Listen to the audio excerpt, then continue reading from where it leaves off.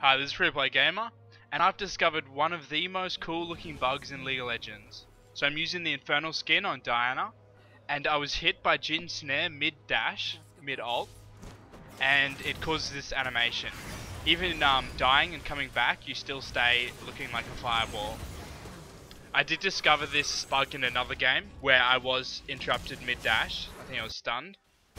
So it is possible to replicate, it's quite a cool looking bug for the Infernal Diana skin, maybe even better than the actual Infernal Diana skin.